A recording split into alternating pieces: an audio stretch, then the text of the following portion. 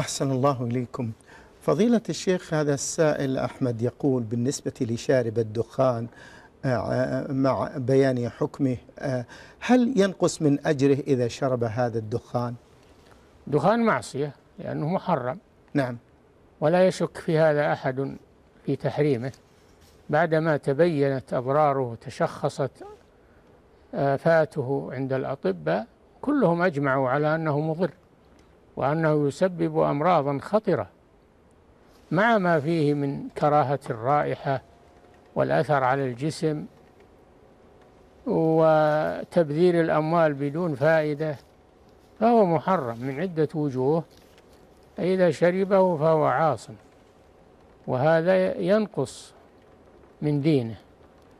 المعصية تنقص الدين الدين الإيمان يزيد بالطاعة وينقص بالمعصية. شرب الدخان معصية ينقص إيمانه. نعم.